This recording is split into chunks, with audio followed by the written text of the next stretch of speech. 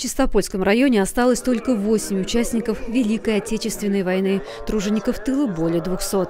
Сегодня на трибуне вместе с ними дети войны. Приглашенных гостей и всех жителей города приветствует руководство республики и муниципального района.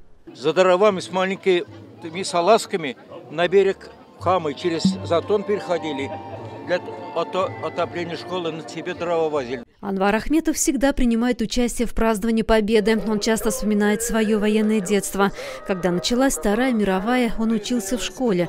На фронте погиб отец, мама осталась с детьми, их было восемь.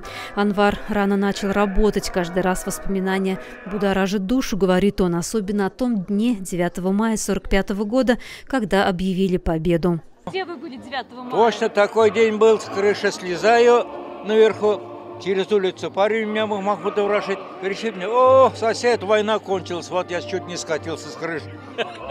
Вы помните, о чем Помню, было, помню, помню, да. Торжественная церемония проходит на центральной площади города. Парад открывают кадеты, юнормейцы, победители олимпиад, призеры республиканских и муниципальных конкурсов, школьный отряд по поддержке волонтеров ЛИС.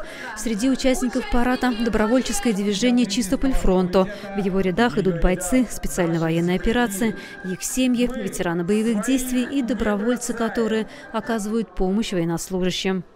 Мы своих не бросаем.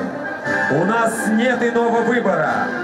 Мы вместе с бойцами российской армии, вместе с Россией. Победа будет за нами! В автомобильном шествии чистопольцам демонстрируют советскую боевую технику и ретроавтомобили. Уже у Вечного огня все участники парада возлагают венки и цветы к Вечному огню, а также к стелам с именами земляков, погибших на фронте. Пройтись вместе со всеми по аллее героев – многолетняя традиция.